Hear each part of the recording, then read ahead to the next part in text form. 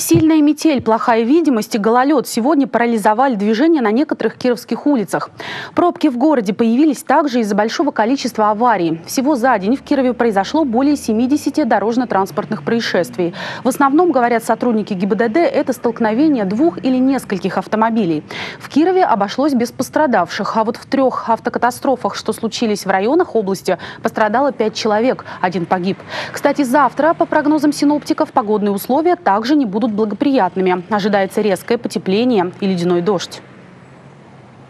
Каждый день вижу аварии на дорогах, на трассах. Это очень, очень страшно бывает.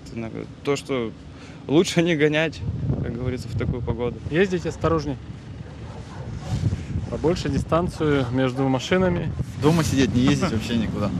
Госавтоинспекция города Кирова обращается ко всем водителям города Кирова о необходимости соблюдения правил дорожного движения при приближении к пешеходному переходу, образовательному учреждению заблаговременно снижать скоростной режим и быть готовым к появлению на проезжей части пешехода. В течение двух дней ближайших по возможности воздержаться от управления личным транспортным средством.